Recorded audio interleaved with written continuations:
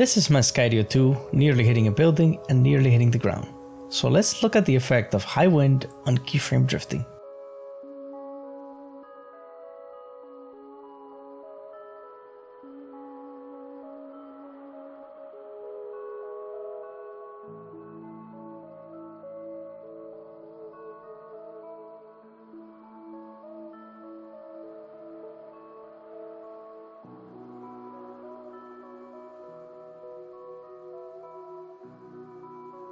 This video wasn't even supposed to be a video. I was just out here getting some b-roll on keyframe for the Skydio 2 Propeller Guard video, which is coming soon, and you should subscribe so you don't miss it.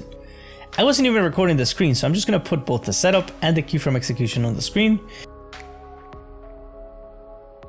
The setup is gonna run at different speeds to keep up with the final execution, but I only received a warning about high wind affecting my flight performance, but it seems to have flung the keyframe locations pretty far off.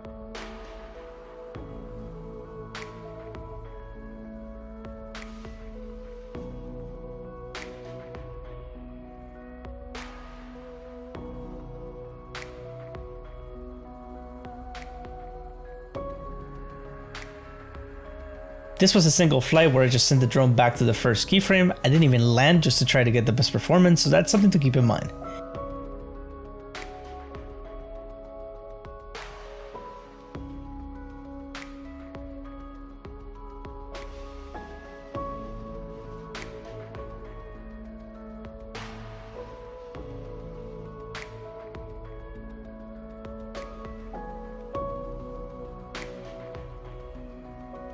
If you're flying and get high wind warnings, be aware of where your keyframes might send you.